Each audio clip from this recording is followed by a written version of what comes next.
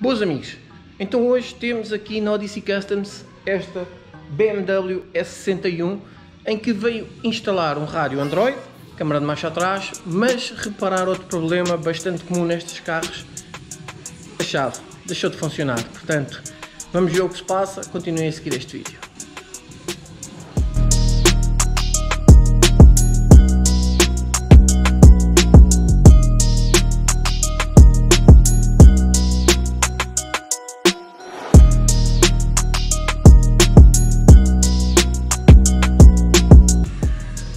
Bom, depois de estar aqui um pouco de volta dela, está reparada.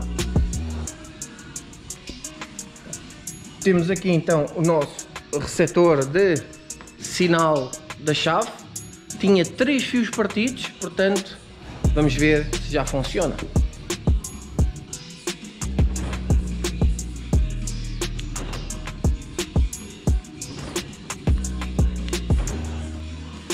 Ora, então como viram, três fios fizeram um problema de deixar a chave funcionar.